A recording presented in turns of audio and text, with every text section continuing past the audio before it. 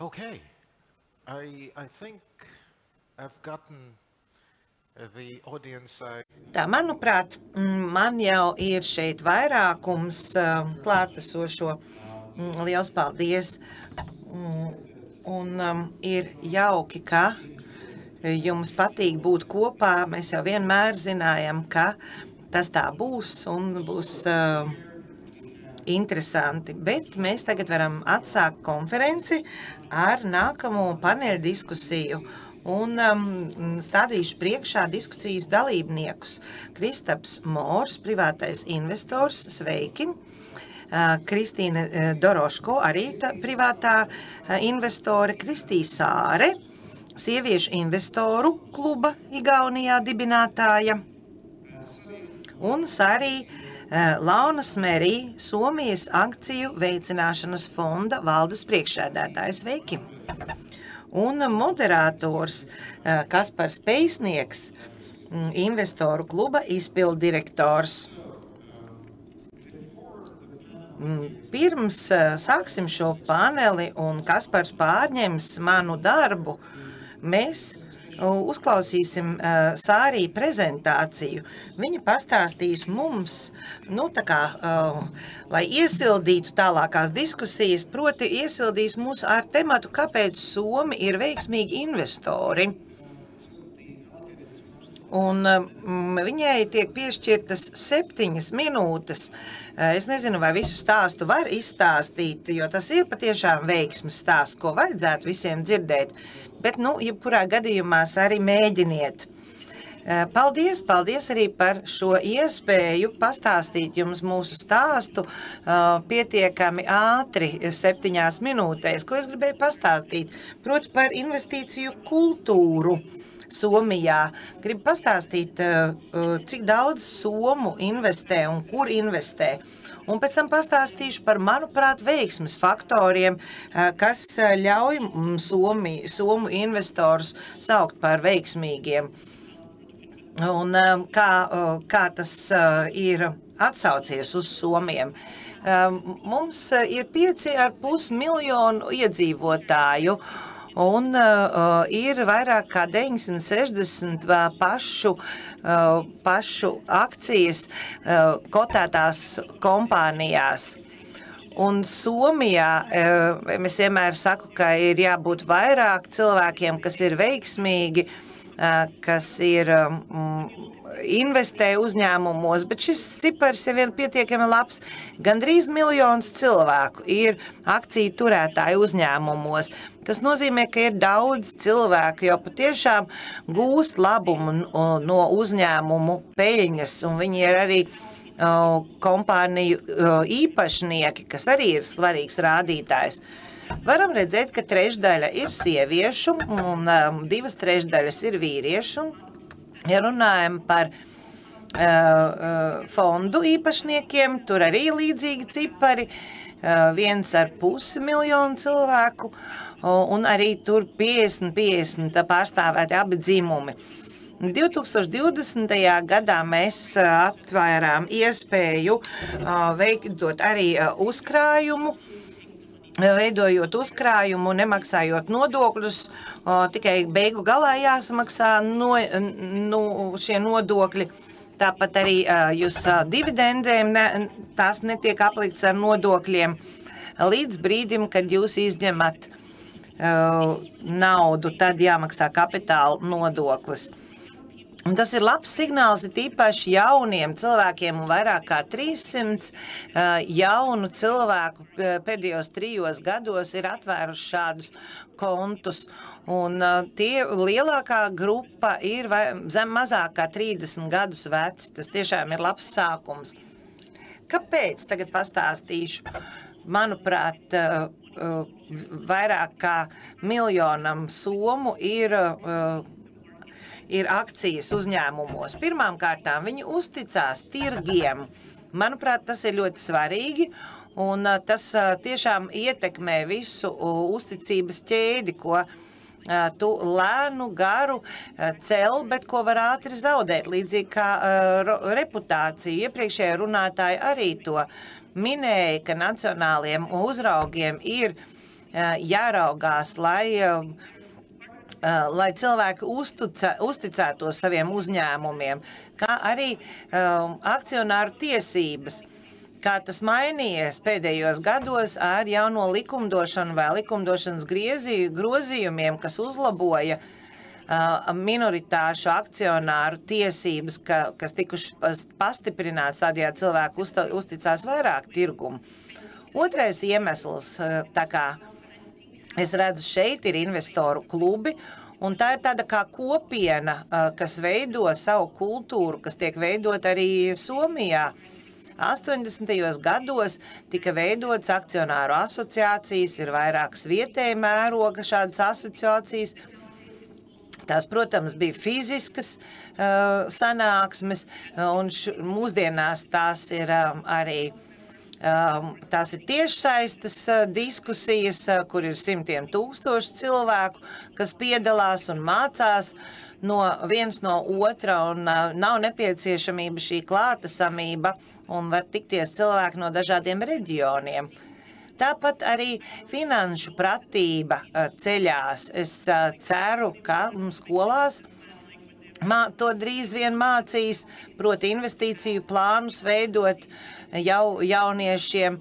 Un es um, zinu, ka mums ir arī brīvprātīgo programmu, piemēram, mūsu uh, fonds uh, tādā piedalās. Mēs augstskolu studentiem uh, mācam, uh, kā veidot investīcijas, un šie studenti tālāk iet uz vidusskolām un stāsta, piemēram, devītklasniekiem, kā veidot uh, savu, savu nākotni.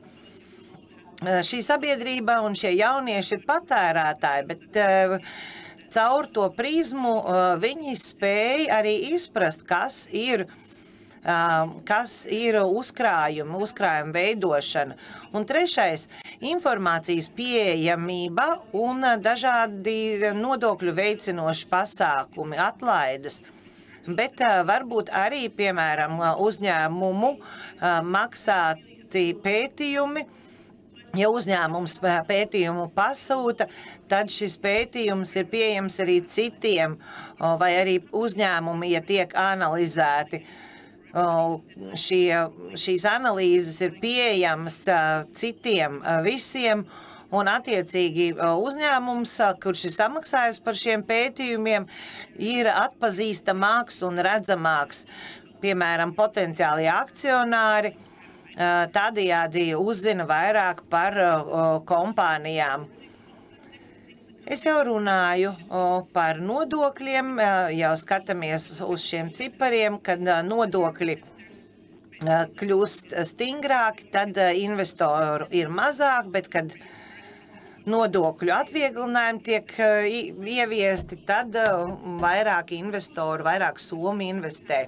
Tāpat investori uh, vēlas, lai būtu arī jauni, eh, jauni uzņēmumi, jo vairāk IPO, eh, jo vairāk investoru. Un te mēs varam redzēt arī eh, ciparus, cik daudz ir akcionāru somu jau no 90. gadiem. Un tas fakts, ka te ir piekļuve lielāka, proti cilvēki var investēt sēžot pie sava mm, galda. Tāpat arī nodokļu atlaides, IPO tiek piedāvājumi publicēti tiešsaistē. Un, protams, arī sociālie mēdī visu to ir veicinājuši. Bet tas mm, tiešām ir ar plusa zīmi priekš Somiem. Nasdaq veica starptautisku aptauju jau no 2066. gada līdz 2021. gadam, rādot, ka Somija un Zviedrija salīdzinot tirgus ir ārkārtīgi guvušas labumu. Jo lielākā daļa cilvēku investē um, savos tirgos, lai arī Eiropā mēs vēlētos, lai tas notiktu visā Eiropas Savienībā, bet nu, kopumā tā bilde ir visnotaļ pozitīva. Liels paldies arī par šo ātro ieskatu Somijas pieredzē, un es domāju, ka tā varētu attīstīties arī Latvijas kapitāla tirgi. Varbūt es varētu teikt, ka kaut kā mums jāreklamējās Somijā mūsu uzņēmumā. Nu, jebkurā gadījumā Pāraputeksnoņošanās ir ļoti laba lieta, un mācīties no vienam no otram ir ļoti labi. Un atkal jūs, darbie klausītāji, skatītāji, varat savus jautājumus vai komentārus sūtīt slaido. Šie jautājumi būs adresēti šim panelim. Tādējādi jūs varat pievienoties mūsu diskusijām. Bet tagad došu vārdu Kasparam Peisniekam, kurš būs moderators šajā panelī. Un pirms dodu tev mm, vārdu, gribu pajautāt, kam tad tu ķersies klāt? Vai tu runās par to, ka mums jākļūst vairāk kā somiem? Un, starp citu, arī pieminēja trīs lietas. Uzticēšanās iestādēm, finansu pratība un uh, juridiskais ietvers, jeb likumdošanas ietvers, kas visu to veicina. Vai tu arī par to runāsi, par šīm te trim lietām? Jā, protams. Good luck. Thank you. Thank you. Lai veicas, paldies! Pirmkārt, es gribēju pateikties Latvijas bankai par šī pasākuma organizēšanu. Tiešām jūtos pagodināts, ka varu piedalīties un eh, runāt šādu te mazo investoru vārdā, jo nevienmēr ir, eh, ir šādas iespējas, eh, ka šādi investori var pastāstīt sev būtiskos jautājumus tik ietekmīgiem klausītājiem. Mēs dzirdam, kāda ir jūsu plāni, kādas ir problēmas, ko jūs gribat mainīt, bet varbūt, ka tiem mazajiem investoriem, ka tiem ir varbūt citi šie te sāpīgie punkti? Gribu pateikties arī Sarī par lielisko ieskatu. Un ir, ir lieliski redzēt, ka jūs redzat, ir lieliski redzēt, ka pie jums šī ieguldījuma kultūra attīstās, lai gan, protams, vēl ir iespēja panākt arī uzlabojums. Jā, tas tiešām ir ļoti labi. Uh, Bet vienlaikus arī ir jāsaprot, ka daudzi cilvēki domā, ka, lai sāktu investēt, ir jābūt bagātam, bet tā nav, jo var iet uz priekšu ar maziem solīšiem. Tātad šodien paneļdiskusijas laikā runāsim, nu, es tos nesauku par sāpīgiem punktiem, bet varbūt par tādiem jautājumiem, kas manā ieskatā ir svarīgi, lai kapitāla tirgi augtu. No sākuma pievērsīsimies tam, vai un kā ir mainījusies kult, ieguldījuma kultūra pēdējo gadu laikā, runāsim par finanšu pratību. Apskatīsim nesenus piedāvājumus Baltijas valstīs, vai tie ir palīdzējuši, vai tas tie ir bijuši kā tāds slasts. Arī runāsim par ilgspējīgu ieguldīšanu SG, Un tad mums būs arī daži ieteikumi par to, eh, ko tad mūsu partneri, teiksim, valdība, regulātori varētu darīt, eh, lielās bankas, ko varētu darīt citi lielie spēlētāji, lai eh, sekmētu finanšu tirgu attīstību un lai tas notiktu ātrāk. Sākšu ar tādu mm, īsu komentāru, kas man ienāca prātā braucot uz šejieni. Runājot par ieguldījumu kultūru, finanšu pratību, mums vienmēr, vismaz man tā šķiet, nāk prātā, ka tur ir klase, pasākumi, lekcijas un tā tālāk. Bet vienlaikus mm, gandrīz katru vakaru mums televīzijā ir loterija. Un, un tad svētdien ir vesela stunda super bingo notiek svētdienās, kur var laimēt mašīnu vai naudu. Kā būtu, ja mēs šo te laiku aizpildītu mm, ar kaut ko noderīgāku, jo loterija statistiski pierādīta ir, nu, teiksim, kā veids, kā zaudēt naudu, bet tā vietā mēs varbūt varētu parādīt, kā nopelnīt naudu, kas ir statistiski pierādīts veids naudas pelnīšanai. Nu, tas ir tikai tāds ieteikums. Varbūt jūs varat par to padomāt. Varbūt izslēdzam loteriju un ieslēdzam finanšu pratības uh, uh, raidījumu. Mm, nacionālajos plašsaziņas līdzekļos vai citur, ka varbūt mēs netērēsim 10 eiro nedēļā, lai pirktu loterijas biļetes, bet ieguldīsim Baltijas tirgos un, un, un baudīsim tādu izaugsmi.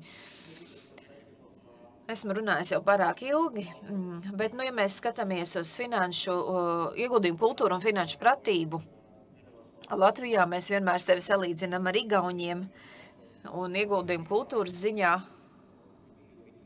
Es domāju, ka esam atpalikuši no Igauniem, varbūt pat ne tikai dažus gadus. Tāpēc tiešām esmu priecīgs, ka šodien mums piedalās Kristī, kas manā ieskatā ir viena no ietekmīgākajām investoriem Igaunijā.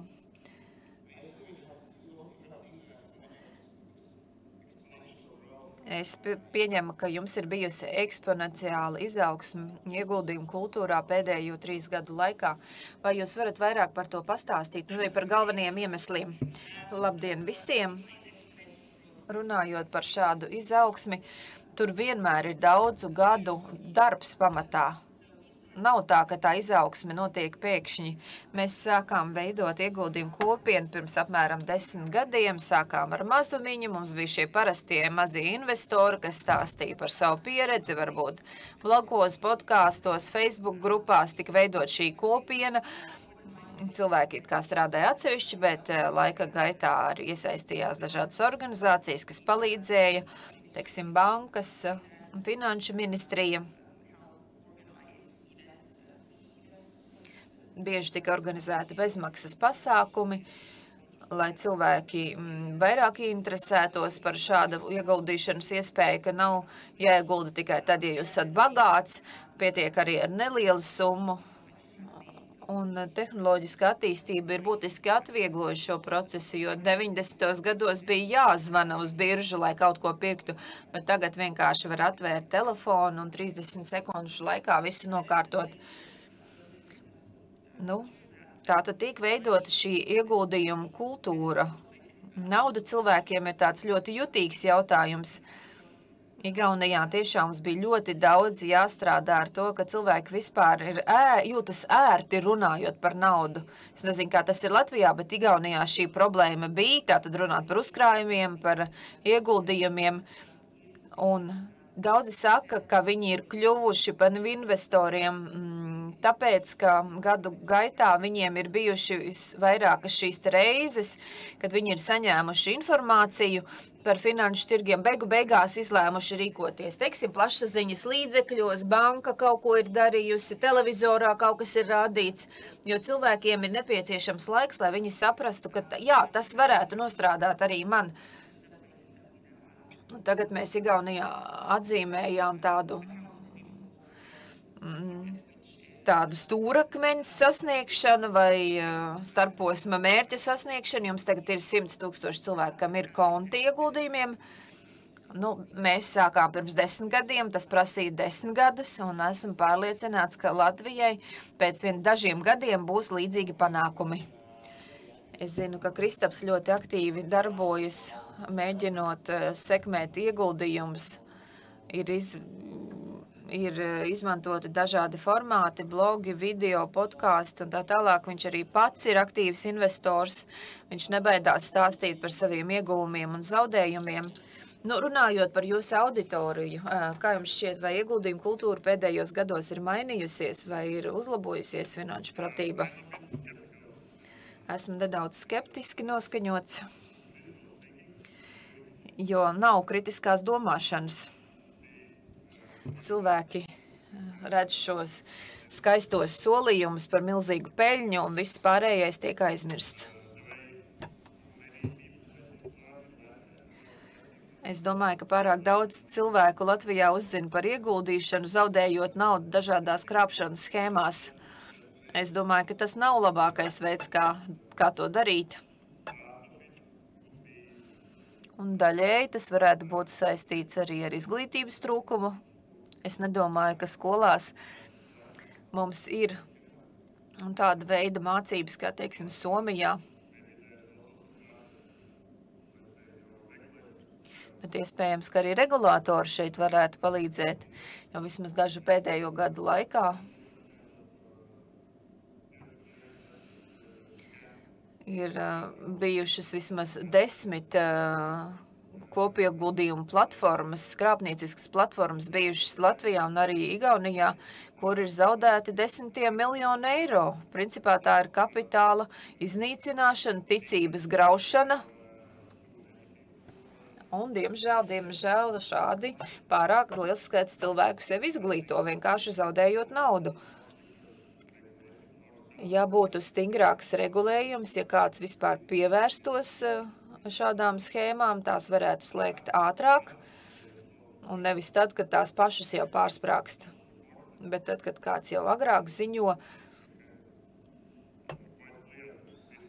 vai kad kļūst skaidrs, vai ka cilvēkiem kļūst skaidrs, ka tā ir tikai vēl viena Poncija schēma un, un tur nedrīkst ieguldīt.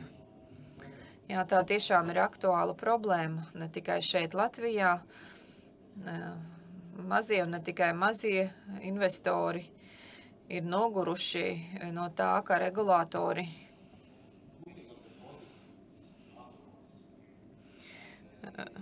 strādā jau ar mirušu schēmu un vienkārši risina kaut kādas sekas, nevis iesaistās preventīvi. Pirms vispār problēmas rodas. Es arī kā jums ir Somijā, vai jums ir tāpat tādas pašas problēmas, uh, ar šādu veidu krāpnieciskām savstarpējās finansēšanas schēmām. Pirms dažiem gadiem mums bija tādas piramīda veida schēmas, bet pēdējo gadu laikā nekas tāds nav parādījies, bet es šo problēmu zinu. Es uzskatu, ka tas ir ļoti, ļoti svarīgi, jo bieži investors nevar nodalīt e, regulēto tirgu no neregulētā tirgu, tirgus. Jo viņiem grūti saprast, kur tad ir šī krāpšana tieši. Nu, mēs mācām cilvēkiem, ka ir jāuzdod tādi pamati jautājumi. Ja kāds saka, ka riska nav, milzīga nauda, es domāju, ka visiem jau pamatskolā būtu jāzina, ka tas vienkārši nav iespējams. Un tātad kādam ir par to jāstāsta, jāmāca, ka naudu nevar nopelnīt bez riska. Uh, Un ja varbūt pēc tam šie te vainīgie pat, ja nonāk cietumā, investori naudu bieži vispār neatgūst. Jā, risks ir tāds, ka mēs šos investorus vienkārši zaudējam. Latvijā, teiksim, iepriekšējās paudzes, kas ieguldījušas naudu, teiksim, privatizācijas laikā, daudziem tā bija ļoti slikta pieredze strādājot akciju tirgū. Jo uzņēmumi rūpējās tikai par lielajiem akcionāriem, un uh, mazāki, mazākiem akcionāriem vienmēr ir šī rūgtuma sajūta. Bet nu, pro, situācija mainās uz pozitīvo pusi. Pēdējo gadu laikā esam redzējuši vairākus IPO, jaunas paudzes uzņēmumi, kas ir aktīvāki, piedāvā šīs te savas uh, akcijas, uh, ir atvērtāka pret mazākumu akcionāriem. Uh, Latvijā arī ir bijuši vairāk šādi piemēri.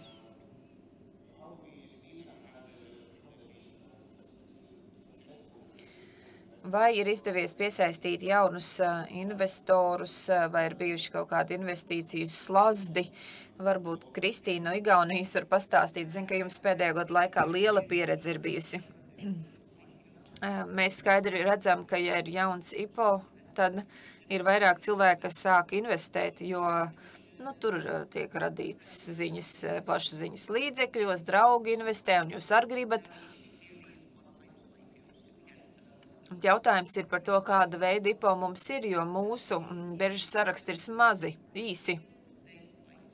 Un cilvēkiem, kam varbūt, kam varbūt nav mm, tik liela pieredze, viņi tirgu gribētu redzēt lielākus uzņēmumus, pazīstamākus uzņēmumus, ka varbūt arī valsts uzņēmumi sāk kotēties akciju tirgu. Nevis tikai kaut kādi ļoti mazi uzņēmumi, kas tikai vēl aug, kas uh, First North uh, grib piesaistīt 500 uh, tūkstošus eiro un ļoti liels risks. Nu, uh, es domāju, ka nav tā, ka visi iegulda visos jaunākajos IPO un ka tur visi pelna, tā nav. Bet savā ziņā, nu, arī no tā mācās, nevar gaidīt, ka vienmēr šie piedāvājumi būs sekmīgi, jo vienmēr ir arī šie riski. Uh, ko varbūt cilvēki nav apzinājušies. Bet, manuprāt, runājot par IPO, patiesi ir palīdzējis tas, ka, ja ir šāds piedāvājums, nu, ka tam seko, nu, teiksim, tāda kampaņa, tiek runāts plašsaziņas līdzekļos, dodas uz dažādiem pasākumiem, tātad tiek palielināta šī atpazīstamība un zināšanu līmenis, jo tad, kad ir šis prospekts, kur, teiksim, ir 200 lapas, diez vai šie mazi investori pilnībā visu tur izlasa,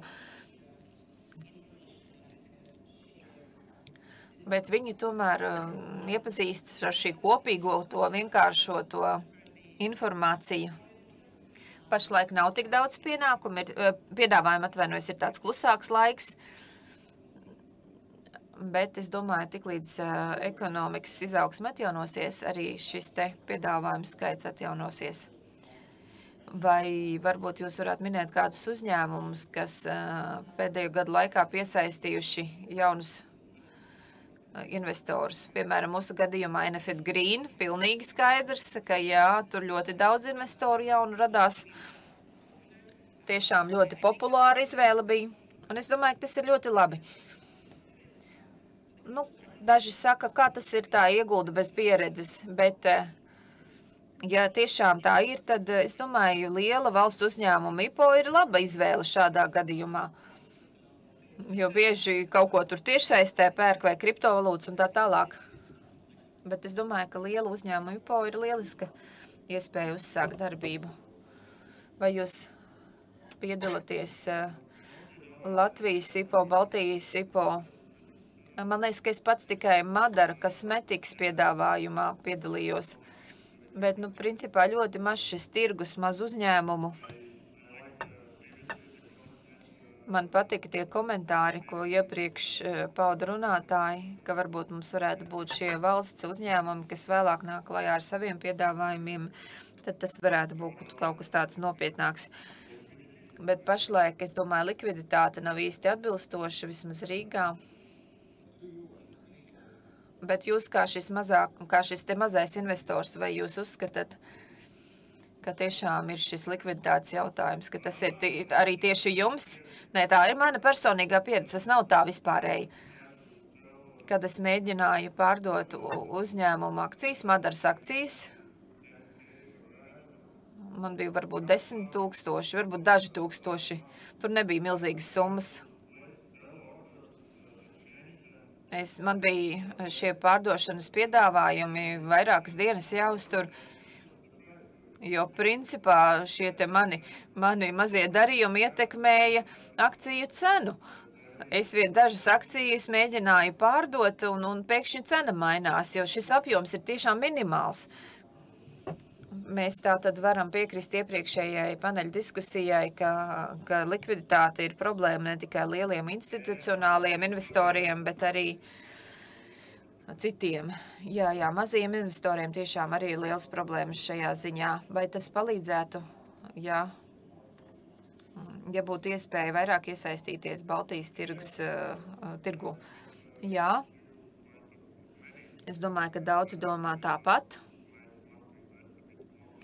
Teiksim, investori gribēs varbūt ieguldīt, ja, ja viņi grib ieguldīt vairāk nekā dažus simtus eiro nu, varbūt šādam apjomam esošais piedāvājums pietiek, ar to pietiek, bet uh, lielākiem nē. Nu, mums vajag simtiem loteriju laimētā, lai ieguldītu vairāk naudas. Jā, bet vairāk arī vajag kotēt un vairāk uzņēmumu. Es arī, vai jums arī ir likviditāte, ir tādas pašas problēmas, kad jauni uzņēmumi uzsāk darbību tirgu, jeb tur uzņēmumi ir tik milzīgi un, un viss notiek tik labi. Protams, Vairums mazo investoru iegulda lielos uzņēmumos, bet runājot par skaitļiem, vairums uzņēmumu ir mazi, un mums tas ir ar tirgus vērtīgu zem 150 miljoniem eiro. Nu, tur jau ir, teiksim, lieli īpašnieki, kam ir noteikta, noteikts akcijas daudzums, un viņi nepārdod, un, un arī tur nemainās šis akcionāru sastāvs. Bet nu, maziem uzņēmumiem, jā, varētu būt šīs likviditātes problēmas, jo esat ieguldījuši un gribat pārdot. Un tad varētu būt tā, kā saka Ivars, ka jāgaida nedēļa, divas nedēļas, kamēr mēģina kaut kā pārdot, neietekmējot cenu. Tas nozīmē, ka ir problēma, un tad ir jāprasa, vai būtu jāļauj, mm, vai jāpieļauj tā, ka šis te brīvā summa būtu mazāka. Es nezinu, maziem uzņēmumiem uh, tā varētu būt problēma, jo no vienas puses mēs sakam, ka jā, tā ir lieliska iespēja ieguldīt,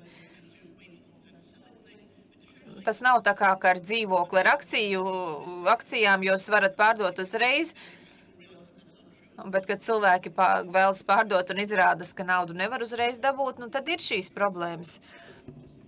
Jā, būtu ļoti labi, ja mēs varētu pirkt šos vērtspapīrus IPO laikā un ne, neturēt līdz termiņa periodu, līdz uh, termiņam. Tas bija joks.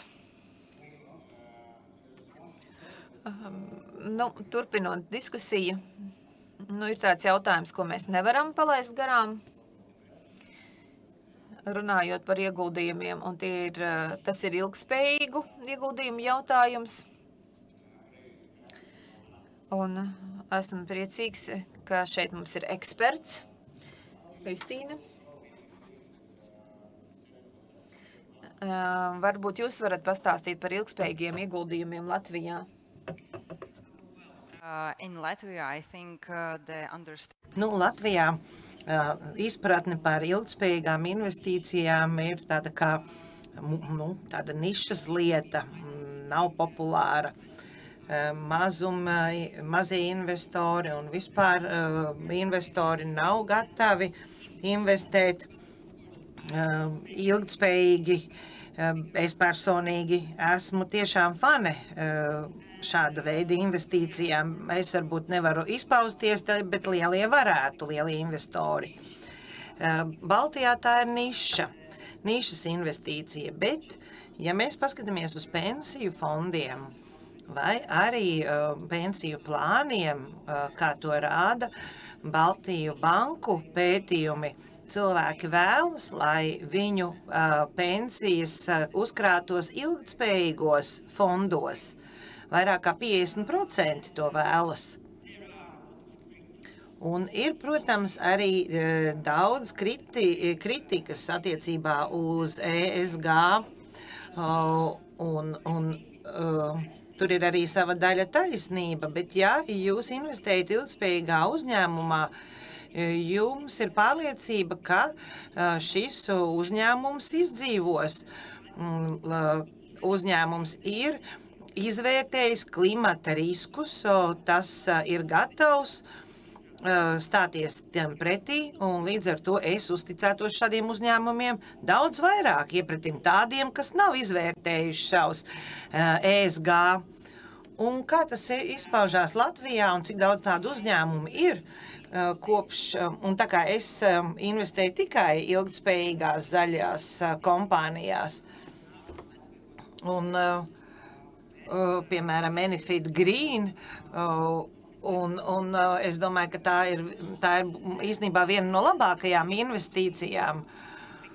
Un tāpat man ļoti patīk Madara kosmētika vai auga grupa uzņēmumi, ko, kas mm, ir jau pārstāvēti Rietuma Eiropā, kas jau eksportē, piemēram, uz Skandināviju.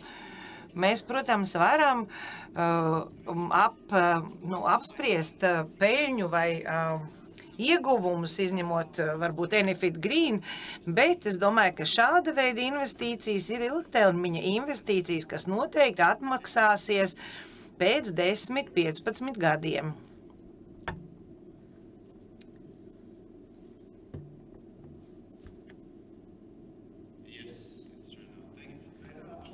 Es um, atvainojos, ka iejaucos, bet uh, ir milzum daudz jautājumu uh, no slaido. Uh, es uh, sabijos, ka jau iepriekš jau mēs nespējām atbildēt uz visiem jautājumiem, bet tagad mums ir desmitiem jautājumu visticamāk no um, privātajiem investoriem, kas ārkārtīgi priecājas par šo iespēju diskutēt Mm, par eh, lietām tik lielā mēroga pasākumā. Kaspar, redz, ka tev ir jautājumi.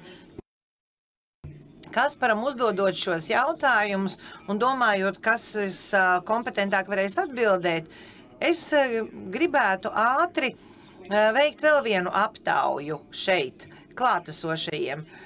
Jautājums, aptaujas jautājums, vai varat parādīt uz ekrāna?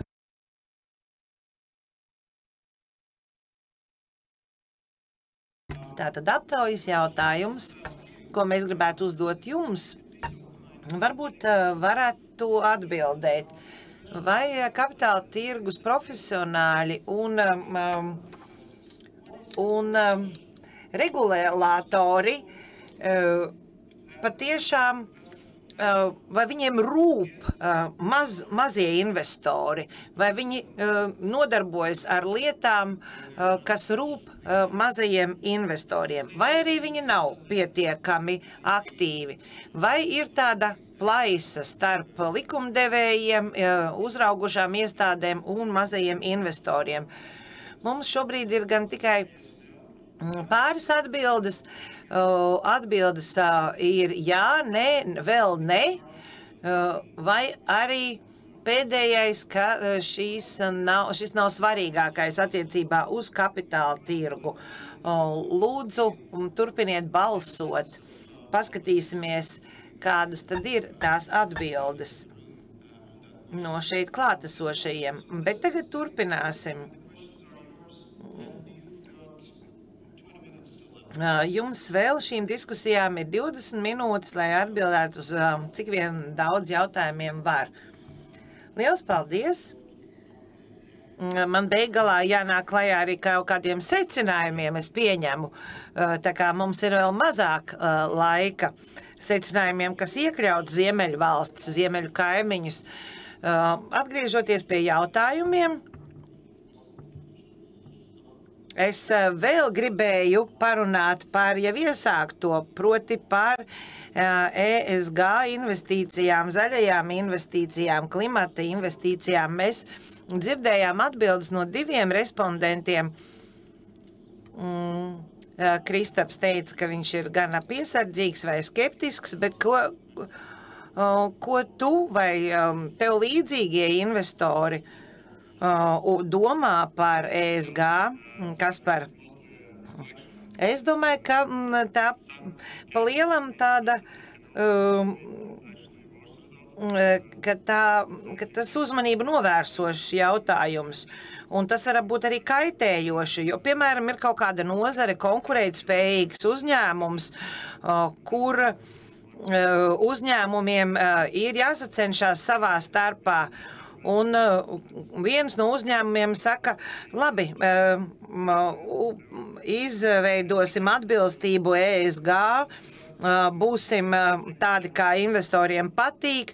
Es domāju, ka tas gala iznākumu ietekmētu sliktā nozīmē. Uzņē, uzņēmumiem jābūt efektīviem, produktīviem. Protams, ka Ja, ja gluži uzņēmuma politika iet roku rokā ar ESG mērķiem, tad ir ļoti labi, bet to nedrīkst taisīt par kaut ko mākslīgu. Ja uzņēmums ir tāds zaļi domājošs, tam, tam būtu jābūt, jā, jātiek veidotam savādākā līmenī, pilnīgi citā līmenī. Es nedomāju, ka tas būtu personīgā vai uzņēm, uzņēmuma līmenī jānolemj. Es tagad nerunāju par uh, oglekļa nodokli, um, uzlikšanu vai um, atcelšanu. Es domāju, ka tas būtu muļķīgi. Kristīne. Kā tu uzskati, ja uh, spiediens nāktu no tirgus spēlētājiem, iestādēm, regulēlatoriem? Vai um, tai iniciatīvai būtu jānāk no pašiem investoriem, um, kā publiskam pieprasījumam? Uh, nu, uh, ja tu uzdod jautājumu, vai cilvēki, uh, uh, vai cilvēki atbildētu uz jautājumu, kā, kā tavu naudu izmantot, labam mērķim vai sliktam? Protams, ka visi atbildēs, ka labam uh, mērķim. Uh, bet uh, maziem investoriem uh, nav iespējas veikt nu, dažāda veida analīzes, lai izprastu investīciju zaļumu. Protams, ir daudzi veidi, kā to var izdarīt, bet ko mazie investori redz? Viņi redz, ka ESG investīcijas ir ārkārtīgi mazas port, visajā portfelī. Piemēram, jūs esat investējuši pensiju fondos, un, un labi, visos pensiju fondos ir kaut kāda ESG sadaļa. Uh, no pensiju fondiem ir jāsaņem ESG certifikācija. Un ir zināmas gaidas arī tirgū, piemēram, kas, piemēram, Igaunijā ir zaļās investīcijas tikai, nu, proti tādi privātie investori, kas piedāvā tikai zaļās investīcijas, bet viņi arī veica paši nodrošina pilnīgu analīzi, ka jūs kā mazais investors varat būt pilnīgi pārliecināts, ka tā būs zaļa investīcija, jo tu kā privāts mazs investors nevari to pārbaudīt pats, kā Kristaps teica. Un to nevar darīt arī tikai investoru līmenī, patērētāja līmenī tam būtu jābūt. Jo, ja mēs vēlamies, lai lai uzņēmums būtu ESG orientēts, tad patērētājs ir tas, kas liek viņai tādai būt. Tas nav tur vienkārši uzņēmuma vadītāja morāla pārliecība. Un, un, un, un to nosaka regulators vai regulējošās iestādes, nevis mazie investori. Es pilnībā piekrītu, uh, saka Kristīne, lai arī es esmu uh, privāta investore. Uh, klimata pakta vēstniece, es um, patiešām um, analizēju fondu pa fondam visu, jo es saņēmu nepatīkamu pārsteigumu reiz, kad mēģināju um, investēt ESG fondā un redzēju, ka virkne uh, uzņēmumu, kas tur ir apakšā, ir pilnīgi neatbilstošas ESG, piemēram, lielās naftas platformas, kas vēl joprojām veic urbumu Ziemeļjūrā. Un nekas nav mainījies. Tā kā es sapratu tajā brīdī, ka man pašai ir ar savām zināšanām jāpēta, kur tad es to visu investēju, bet man kā, kā mazam investoram īstenībā tāda kapacitāte nav. Nu, tas, jā, tas tā ir. Un kā tas ir jūsu valstī, vai investori prasa nu, kaut kādu apliecinājumu, ka viņi investēs ESG uzņēmumos? Nu, kopumā mēs esam pamanījuši, ka jauni investori un sievietes ir satraukušās par ESG klātbūtni. Un, kad ESG investīcijas būs pieejamas vairāk, nu, tad tas būs vienkāršāk. Īstenībā arī cilvēki, kuri iepriekš absolūti nebija ieinteresējušies investīcijās, viņus varētu ieinteresēt tieši ar ESG Un, eh, bet, protams, protams, ka ir jāpārbauda eh, attiecīgie uzņēmumi, jo, ja cilvēks investē kādā kompānijā, kuras plakāta ir eh, brīnišķīgs polārlācītis, un beigu galā viņi saprot, ka viņi neglāb polārlācīšus, bet dara kaut ko gluži pretēju, ka viņi, viņi varētu kļu, neusticēties investīcijām kā tādām. Nu, un eh, daudzi investē kaut kādos pārejas uzņēmumos vai uh, uzņēmumos, kas ir sākuši kļūt apzinīgi vai apzināties savas, zināšana, savas zināšanas un savu darīto. Piemēram, kaut kāds uh, metāla uh, apstrādes uzņēmums, kas uh, cenšas samazināt CO2 izmešus, uh, ražošanas rezultātā, vai arī pat šīs naftas platformas, kas pēc tam um, noteikti, noteiktu procentu saražotās degvielas pārvērtīs biodegvielā. Nu, kur tu vari redzēt, ka nu, tie īsti nav ESG uzņēmumi, bet ir kaut kāda pārējas, pārējas uzņēmumi ir, un, un kā to norādīja Kristaps. Jā, mums ir vēl jautājums no klausītājiem. Jūs, kā investori, ko jūs lasat pirms investī, investēšanas? Uh, Kas tā ir tā informācija, ko mēs lasām pirms um, investējot? Mums ir prospekti, kaut kāda oficiālā dokumentācija, ESG ziņojumi. Nu, uh, ko jūs pētat pirms tam? Kas jums ir svarīgi? Kristap. Tas gan atkarīgs no attiecīgā produkta. produkta. Ja tas ir IPO uzņēmums, tad, protams, var izlasīt pilnīgi visu prospektiņu un veikt sākotnējo izvērtējumu. Un um, pārējo e- es izlasu, es izlasu, bet izlasu noteiktu prospektiņu, jeb apraksta daļu. Es noteikti pārskriešu pāri ātri ESG uh, sadaļai, tā es nepievērsīšos.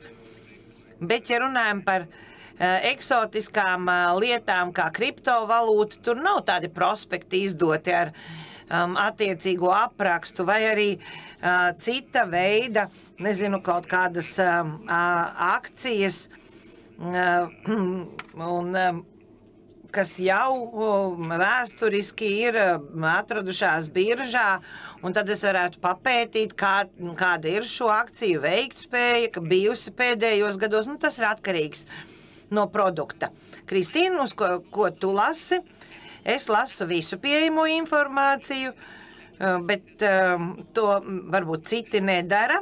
Es to daru tādēļ, ka man patiešām uh, tas interesē. Es zinu, ka lielākā daļa mazo investoru nelasa IPO prospektu, bet viņi palasa ekspertu viedokļus, kas ir mēdījos mm, izplatīti.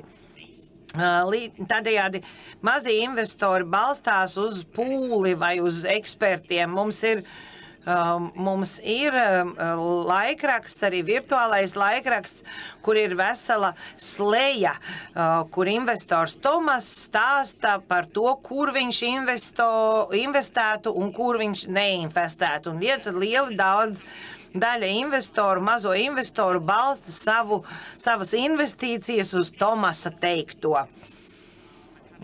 Protams, ir virkne dažādu analīžu, ko cilvēki var lasīt, bet ja būtu ekspertu viedokļi un tāds kopējā platforma, kur būtu investoru vai arī dažādu nu,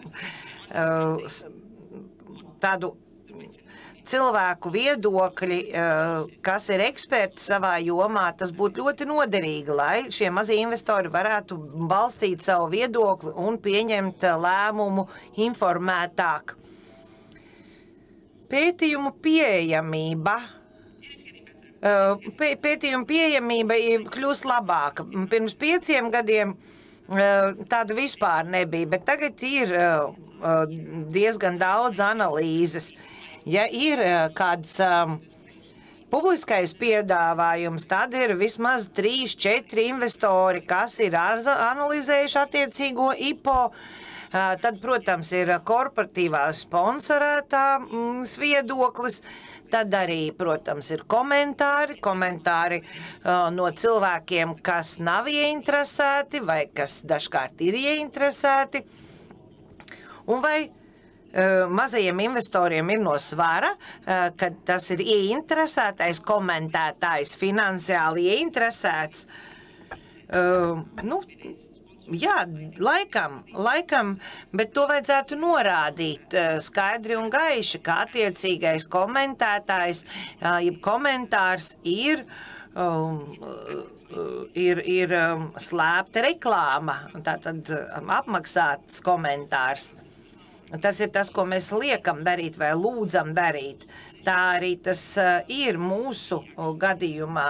Ja ir kāds komentārs, tad komentētājam ir jānorāda, vai viņam ir kaut kāda, nu, tā kā jāpliecina, ka viņam nav nekāds sakars at, ar attiecīgo uzņēmumu.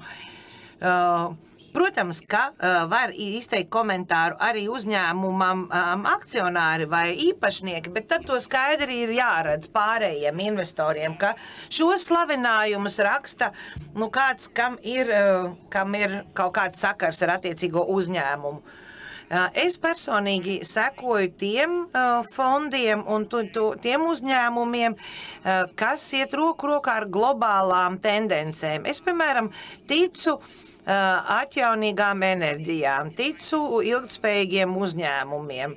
Nu, tā kā es skatos uz šīm tendencēm, lielajām tendencēm, bet es tā kā sašaurinu to pētot, kur uh, investēt. Uh, protams, um, apskatu uzņēmuma bilances, uh, uh, attiecīgo jomu apskatu, attiecīgo uh, biržas vēsturi. Uh, tad arī mēģinu izvērtēt, vai uzņēmums ir klimata neitrāls, vai tie oficiāli kaut ko ir paziņojuši, vai vienkārši kaut ko paziņo un neko nepilda, vai tā ir vīzija nākotnē, cik tā ir ticama. Tās ir tās lietas, ko mēs skatām.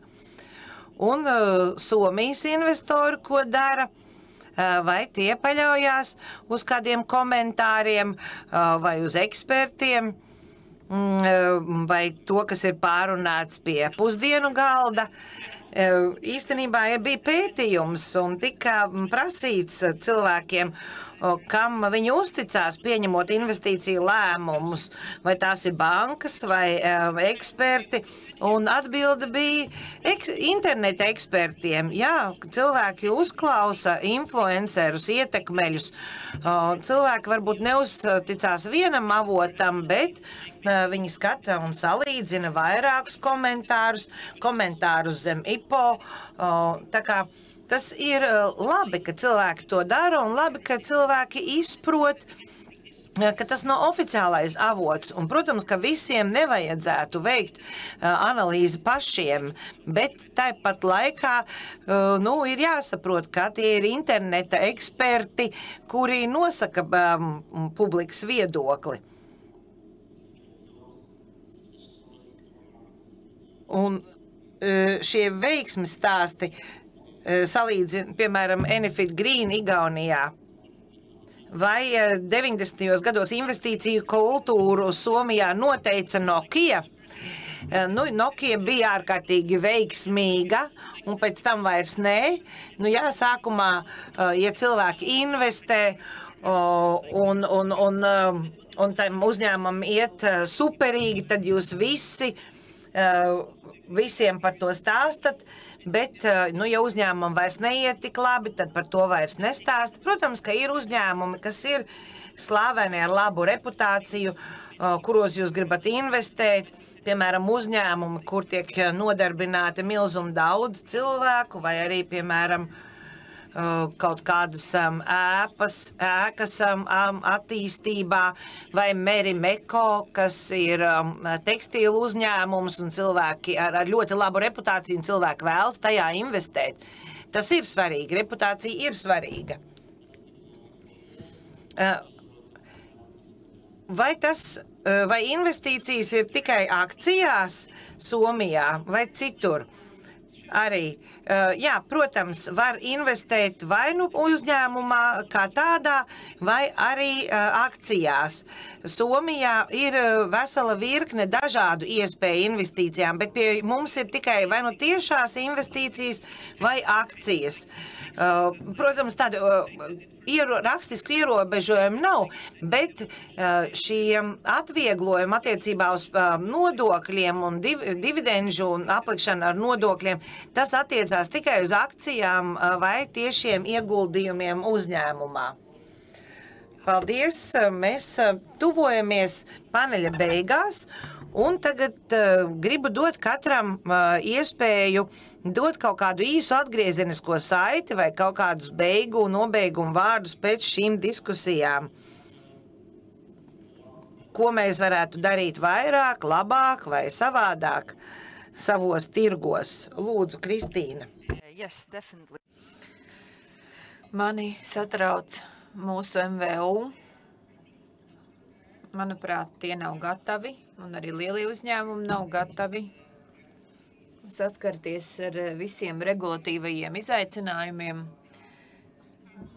kas būs jārisina saistībā ar oglekļa tiesību aktiem, kas drīz tiks pieņemti, lai uzņēmumi varētu pielāgoties lai viņi vispār saprastu, kā iesniegt šos ziņojumus, kā vispār vadīt uzņēmumus, lai tie būtu ilgspējīgi un arī pievilcīgi klientiem un ārvalstu ieguldītājiem, arī vietējiem ieguldītājiem. Jo tiesība akti tiešām uh, radīs šīs grūtības, uzņēmumiem jābūt gataviem un arī bankām jābūt gatavām. Bankas, bankām arī jāsagatavo šie uzņēmumi. Un, ja uzņēmumi tiek, tiek publiski kotēti, ir, ir jāzina šīs pamata lietas.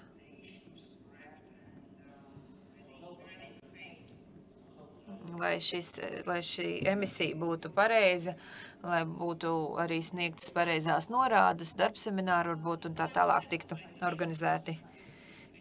Protams, es uzsvēršu arī to pamata lietu, ka cilvēki ir jāizglīto.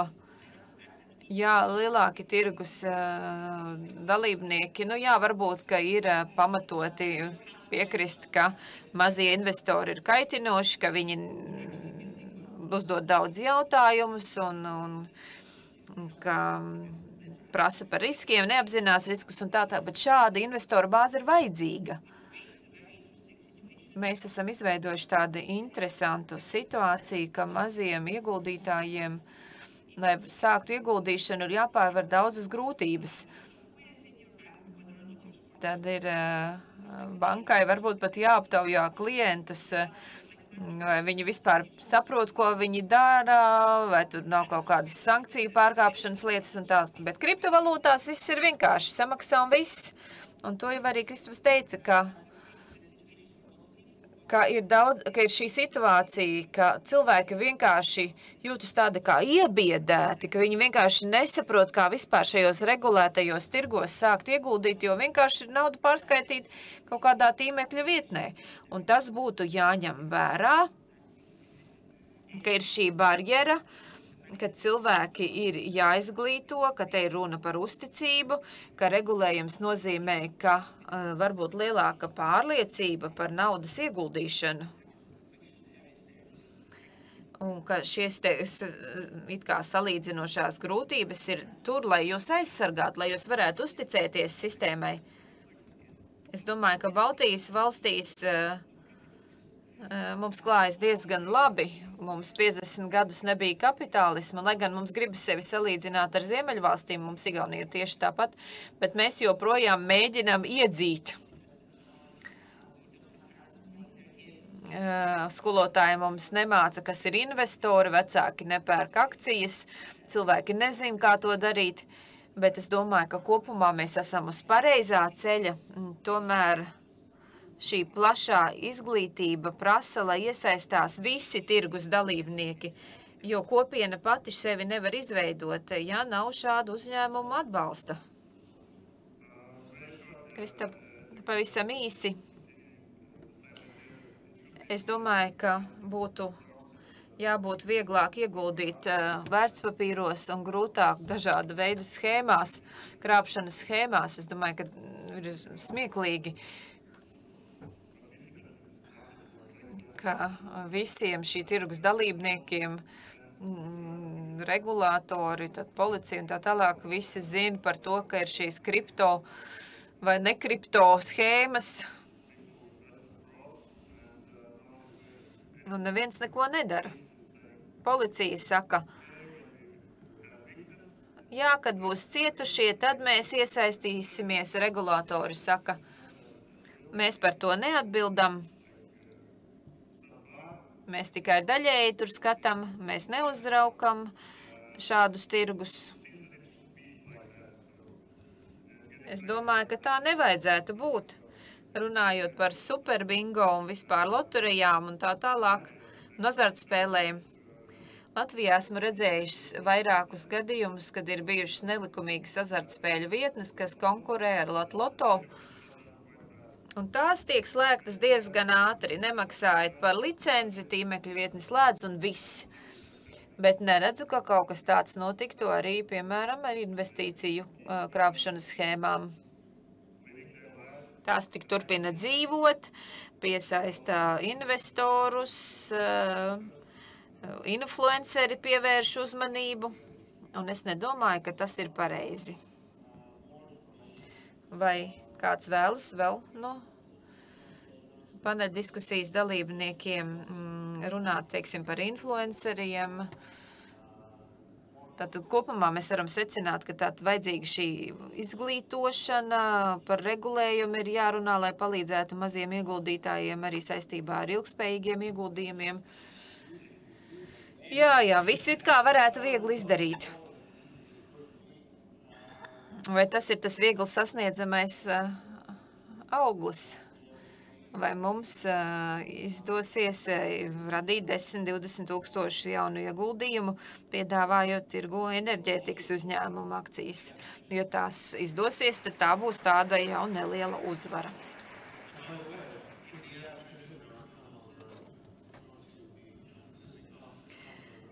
Pēcpusdienā mums būs uzņēmuma pārstāvi paneļa diskusijas. Turpināsies šī saruna. Šim, šai paneļa diskusijai tika uzticēts viss sarežģītākais uzdevums, jo tā notika tieši pirms pusdienām. Jūs lieliski piedalījāties, paldies par jūsu ieguldījumu. Ir pienācis pusdienlaiks. Aicināšu jūs atpakaļ pēc stundas. Jūs mani noteikti dzirdēsiet labu apetīti un tiekamies pēc stundas.